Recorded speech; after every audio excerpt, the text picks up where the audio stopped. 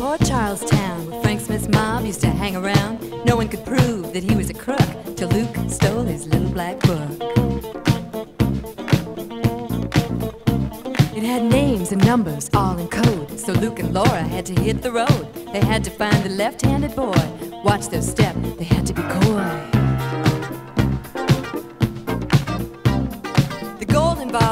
So much, others wanted it like Sally and Hutch. But there's one thing I must confess Sally was a man who wore a dress. Luke kept his cool, he ain't no fool, he set them both up cold. Well, Sally died, Hutch survived, and no one got the gold. Paging Dr. Noah Drake to ICU to treat a case of heartbreak.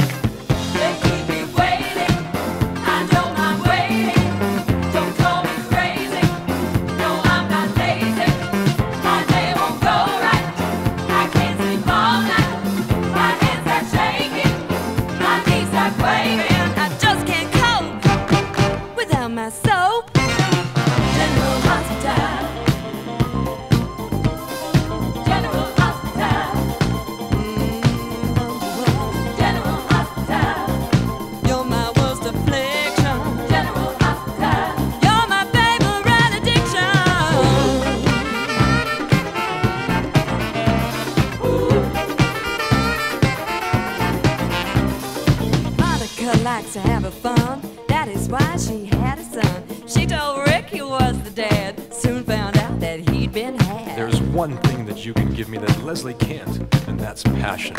Alan was the father, of course, and he won't give Monica a divorce. Rick wants to get Leslie back. Heather's having an insane attack. I'll get Diana Taylor. Crazy, uh-uh, no, never. She just wants to get Dr. Jeff Weber. Jeff wants Annie for his wife, but he might have to wait all of his life, cause good girls don't, and Annie won't. And you all know what I mean.